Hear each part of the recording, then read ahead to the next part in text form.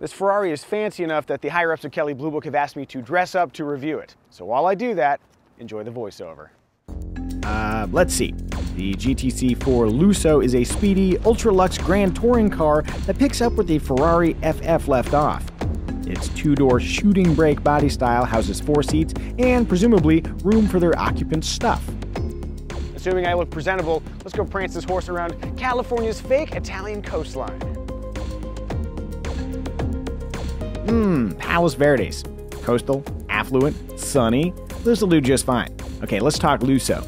The original clumsily titled GTC4 Lusso rocks a 681 horsepower naturally aspirated 6.3 liter V12, a 7 speed dual clutch transmission, all wheel steering, and a clever lightweight 2 speed gearbox with torque vectoring abilities to direct power to the appropriate front tire.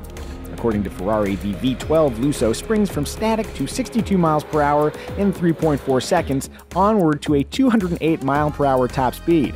Fun! This, however, is the GTC4 Lusso T. That T indicates the presence of a 3.9 liter turbocharged flat plane V8. Into the back of those cars! I'm Just kidding. With an 80 horsepower deficit and no fancy all-wheel drive like the regular Lusso, you might be tempted to pity the T. But as any child of the 80s will tell you, Mr. T pities you. With that strained wordplay out of the way, let's see how the GTC4 Lusso T fares as a Grand Tourer. To help me do that, I'm going to recruit my car reviewer friend, Lyn.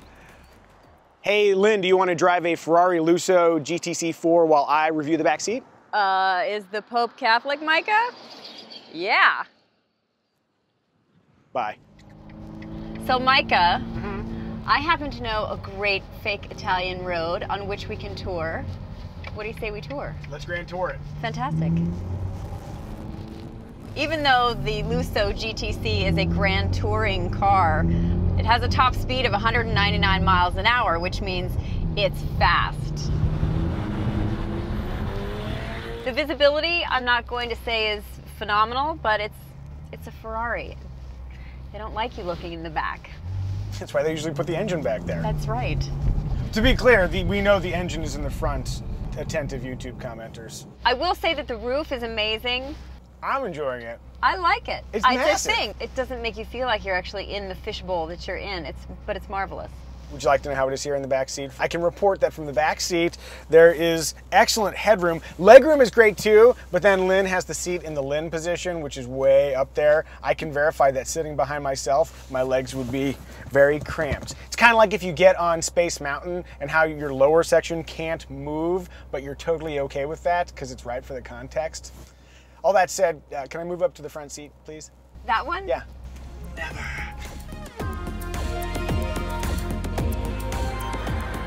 The MagneRide SCM electronic dampers aren't exactly soft, but there is a bumpy road suspension setting which makes things a little bit more comfortable. You know, even in sport mode, Ferrari didn't tune the Lusso like a track car. And while you can feel the road underneath you, it's not violent and no one's gonna need to go to the chiropractor after a drive. Whatever your aesthetic thoughts, the Lusso's hatchback profile is a boon for cargo space, as are folding rear seats, helping make this the most practical of Ferraris.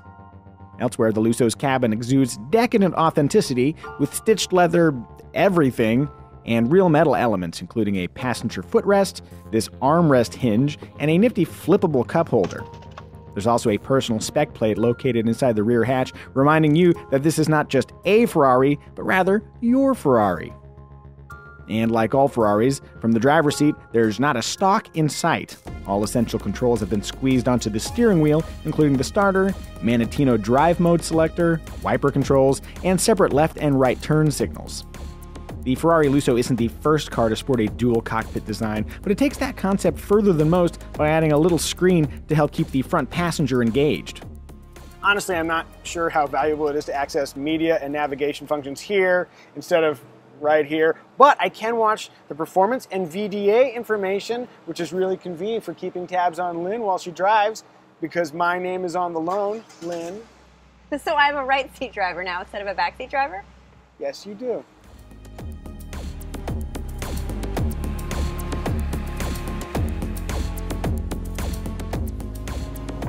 Now that I'm thankfully in the driver's seat, I will point out that the dual clutch seven speed transmission is as rapid with the shifts as you would hope. Oh, that is nice.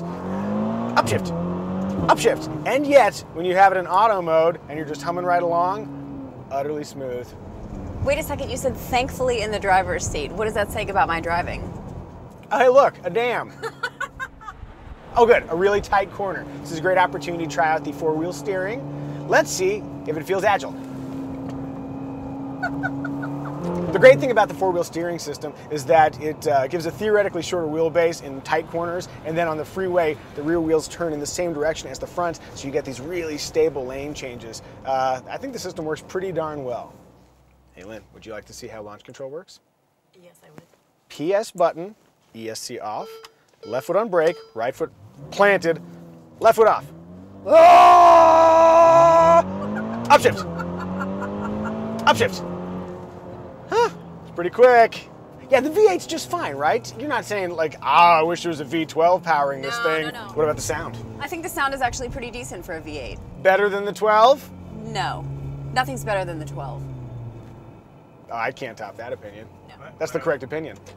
One more quick note about the transmission. When you're cruising along, when you floor it, sometimes it takes a little while for the transmission to make the right downshift and for boost to engage, which is not how boost works, but the power to come on and get that accelerative force. So, pro tip, if you'd like to go fast and you know it's coming up soon, downshift in advance.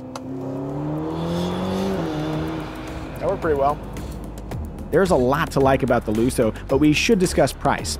Including a gas guzzler tax and destination charges, a base Ferrari GTC4 Lusso T costs almost $270,000. As tested, $333,080. That nearly $60,000 price jump comes via a panoramic roof, a front camera system, 128 gigabytes of infotainment storage, and Apple CarPlay, a normally free feature that costs a cool $4,219. No, I did not misspeak. Put another way, the GTC4 Lusso T is objectively expensive, but Ferrari buyers objectively do not care. So, which Lusso should you buy? Well, the V12 costs about $40,000 more than the V8, but that fee brings with it the aural and accelerative delights of a V12 along with all wheel drive, making it the right car for Ferrari buyers who drive in the snow. If you're the kind of Ferrari driver who actually drives in the snow, please send me a picture on Instagram. Wait, I want a graphic too. Fine. Uh, That's actually a pretty nice graphic. Snow loving V12 fanatics know which Lusso to buy, but for more grounded Ferrari shoppers, the GTC4 Lusso T could be the superior choice. Merging rear drive agility and a powerhouse V8 with Sultan worthy trappings inside and out, the Lusso T is a truly excellent grand touring machine. As a bonus, the T's lower base price frees up funds for the option sheet. If I wanted a Ferrari to escape my wife and child, it would be the 488 GTB. But if I wanted to bring them with me, the GTC4 Lusso T is the Ferrari I would buy. Lyn, what do you think?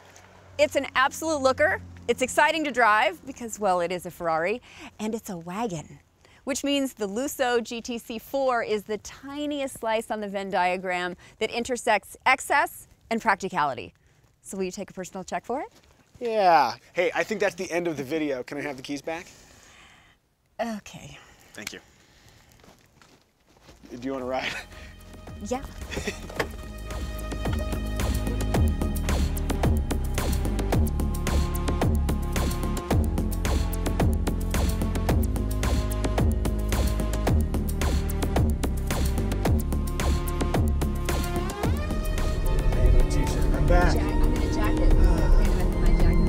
Everything's back to normal. It's like the end of a sitcom where all the crazy stuff is now reset